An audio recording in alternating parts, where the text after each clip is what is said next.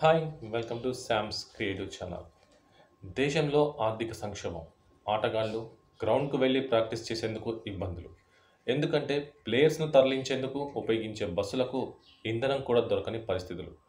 ఒకనొక సందర్భంలో Asia cup two thousand twenty టూలో శ్రీలంక పాల్గొంటుందా అనే అనుమానాలు. తొలి మ్యాచ్లో ఆఫ్ఘనిస్తాన్ చేతిలో నూట ఐదు పరుగులకే ఆల్అవుట్ ఆపై ఎనిమిది వికెట్ల తేడాతో భారీ ఓటమి. ఈ పరిస్థితులను చూశాక ఎవరైనా శ్రీలంక కప్ కొడుతుందని అనుకుంటారా?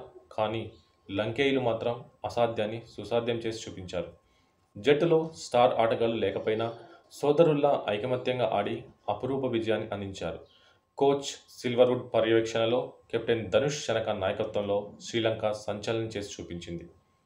దుబాయ్ వేదికగా జరిగిన ఆసియా కప్ ఫైనల్ మ్యాచ్లో శ్రీలంక ఇరవై మూడు పరుగుల తేడాతో పాకిస్తాన్ ఓడించింది. చివరి మ్యాచ్లో తొలుత బ్యాటింగ్ చేసిన శ్రీలంక ఇరవై ఓవర్లలో నూట డెబ్బై పరుగులు చేసింది. జవాబుగా పాకిస్తాన్ జట్టు నూట నలభై ఏడు పరుగులు మాత్రమే చేయగలిగింది. దీంతో ఎనిమిదేళ్ళ తర్వాత శ్రీలంక ఆసియా కప్ టైటిల్ని కైవసం చేసుకుంది. వనిందు హసరంగా భానుక రాజపక్సే శ్రీలంక అద్భుతమైన విజయానికి హీరోలుగా నిలిచారు.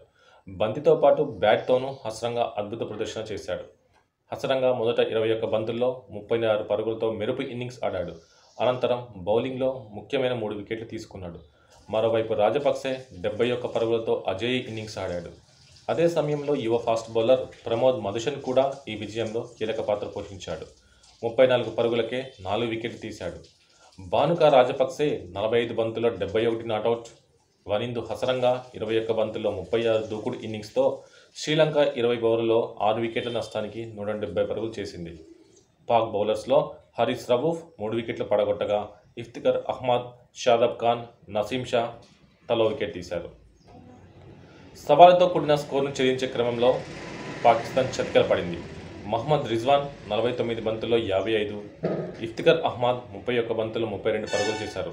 వీరు అవుట్ అయ్యే ముందు పాకిస్తాన్ను ఆటలో సజీవంగా ఉంచారు. అయితే ఇతర బ్యాట్స్మెన్ సహకారం అందించలేకపోవడంతో పాకిస్తాన్ ఇరవై ఓవర్లలో నూట నలభై ఏడు పరుగులు మాత్రమే చేయగలిగింది దీంతో శ్రీలంక ఆసియా కప్ను ముద్దాడింది.